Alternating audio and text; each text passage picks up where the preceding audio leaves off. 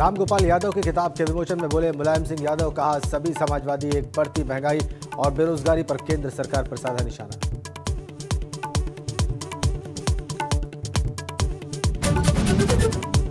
कानपुर में बूथ अध्यक्ष सम्मेलन में जेपी नड्डा का विरोधियों पर निशाना, कहा हमें भारत को जोड़ने वाले सरदार पटेल पर भरोसा, विरोधी आज भी जिन्ना के सहारे।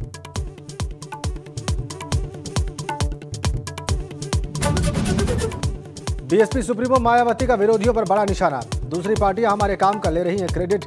अपने काम का फोल्डर जारी कर कार्यकर्ताओं से की प्रचार की अपील।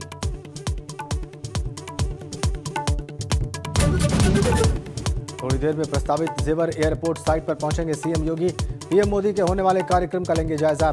25 नवंबर को पीएम मोदी रखेंगे जेवर एयरपोर्ट की नींव।